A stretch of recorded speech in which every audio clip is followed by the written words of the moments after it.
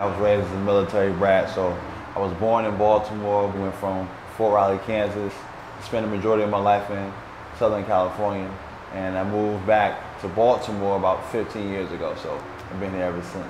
Music here is dope. I like the fact that there's it's like a melting pot of, of all sorts of styles, so much talent in the city, and I feel like I'm definitely belong with uh, a lot of the elite rappers on the scene here. It's the body back in the century. Me and Jumbo got mad chemistry. The whack rappers, I'm a different pedigree. So we up the beat, send the beat, let it be. I switch the name to Supreme Accessory. Spirit fingers, y'all. Spirit fingers, y'all. Spirit fingers, y'all. Spirit fingers, y'all. Pops is a bass player, so used to uh, always play like Cameo, Larry Blackmon, uh, Marcus Miller, uh, Stanley Clarke, stuff like that around the house on his bass. He's currently still touring to this day. He's retired and he just makes his money, you know, off of touring, you know, doing shows up and down the DMV, you know, and he like plays funky, like good music, you know what I'm saying? So yeah, that was definitely like my inter, uh, my first uh, interaction with music. Him just playing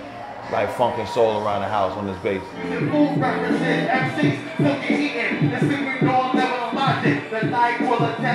Still back, in the frame, only is still back. I was battling at first, like just, you know, battling, appearing in like, you know, mad freestyle ciphers, just, you know, sharpening my sword just to get the word out, uh, let people know that I'm nice.